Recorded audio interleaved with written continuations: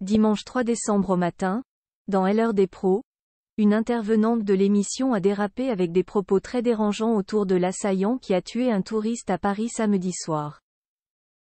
Le journaliste Elliot Deval est alors intervenu pour la recadrer sévèrement. La suite après la publicité dimanche 3 décembre, Elliot Deval présentait un nouveau numéro de l'heure des pros week-end sur CNews et il s'est naturellement emparé du sujet brûlant de l'attaque au marteau qui a eu lieu la veille, samedi soir. Dans le 15e arrondissement de Paris, entre le quai de Grenelle et Bir Arkheim, un homme a tué un touriste allemand et a blessé deux autres personnes. Rapidement interpellé par les policiers, il a été rapporté qu'il s'agissait d'un homme de 26 ans prénommé Armand R. Connu de la justice pour son islamisme radical et ses troubles psychiatriques. Il avait prêté allégeance à LE accent aigu islamique, a indiqué le procureur antiterroriste, et avait déjà été condamné à 4 ans de prison ferme.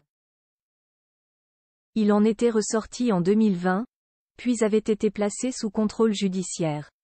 Pour parler de l'affaire, Elliot Deval, qui avait remplacé Pascal Pro lorsqu'il était souffrant, avait invité sur son plateau Valérie Lecable, ancienne porte-parole du ministère de la Défense.